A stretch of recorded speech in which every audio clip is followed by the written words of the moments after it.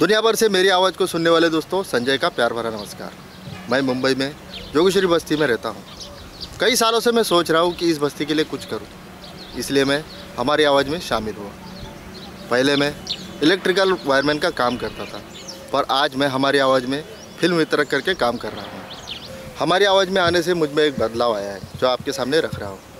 पहले मुझे ज़्यादा से ज़्यादा लोगों तक बात करने में हिचकिचाहट होती थी, पर आज मैं ज़्यादा से ज़्यादा लोगों तक बात रख सकता हूँ। इस बार हमने मुंबई के विवादास्पद और अहम मुद्दे पर फ़िल्म बनाई, जिसका नाम है एसआरए, यानी झोपड़पट्टी पुनर्वसन योजना। एसआरए विषय पर फ़िल्म बनाने का कारण ये था कि कि लोगों को उस स्कीम के बारे में जानकारी मिले, साथ ही इसमें होने वाले विवादास्पद मुद्दे को सामने लाना। इस फ़िल्म का ये फ़िल्म बनाने के बाद लोगों ने उस फ़िल्म को अच्छा प्रतिसाद दिया। इस फ़िल्म के स्क्रीनिंग में लोगों ने अच्छा रिस्पांस दिया और साथ ही एक मीटिंग की मांग की है।